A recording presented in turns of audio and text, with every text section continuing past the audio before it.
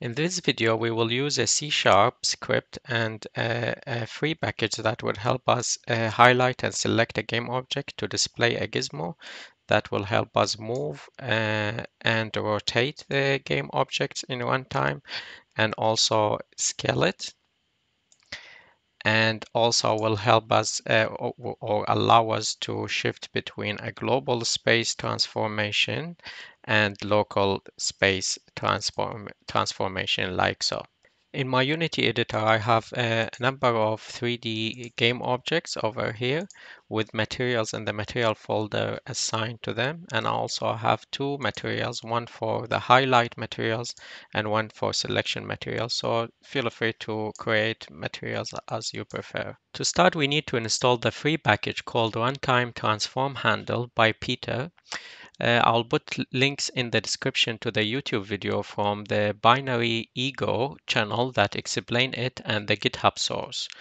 Uh, so to install the package, go to in Unity Editor, go to Edit and Project Settings, then select Package Manager. And under the name, I'll put these details in the description. You could copy them uh, uh, from there.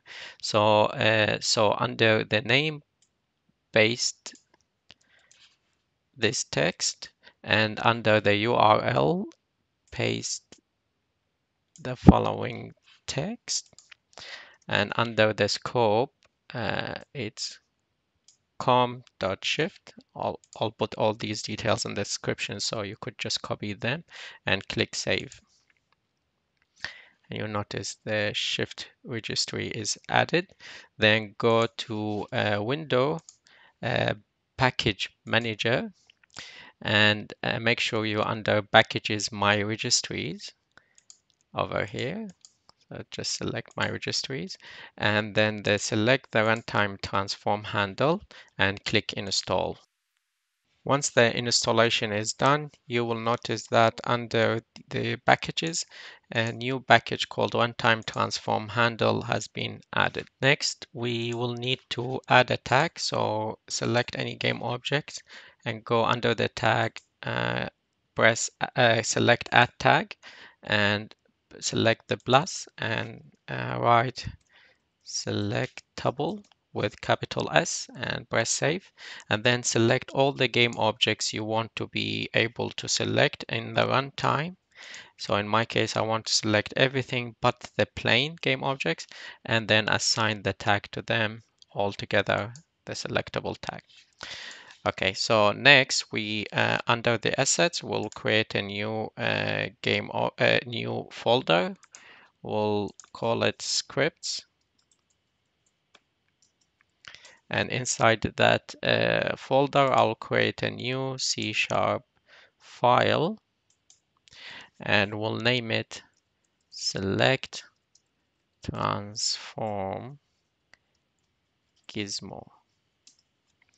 And then I will create a, an empty game object that hold that uh, that will uh, will link to that file. So right click create empty we'll name it the same select transform gizmo and then I'll drag that uh, script file into that newly created empty game object and select it to make sure the script is there and then double click on the script to open it in Visual Studio. So in the script file I added number of lines and I'll put link in the description. It's a GitHub link that where you could download the code from there.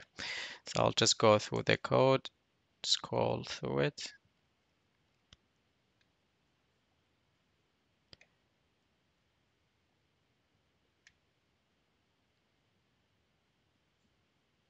That's the whole code. And you notice here, uh, I put a number of lines that control the keyboard hotkey.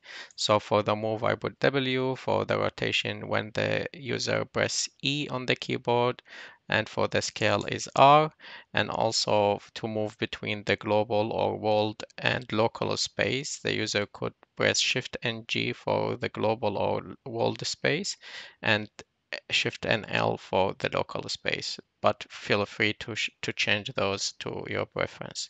So if we save the file and go back to the editor, I will select the game objects to which the script is attached to, and here we need to assign the highlight and selection. So in the My Materials folder, I have already created uh, two materials that I want the highlight and the selection to look like and we just assign those. And now if I click play now I could uh, highlight them by hovering over them select them and then the gizmo will show. I could use it to move. And if I press E in the keyboard I'll rotate could be able to rotate. And if I press R I could scale. And I then press W to move. Now this is the local space but if I press shift and G we'll move to the global space and shift and L back to local space where I could move locally. That's it. Thank you. Please like, subscribe, and click the notifications button to help me make more videos like this.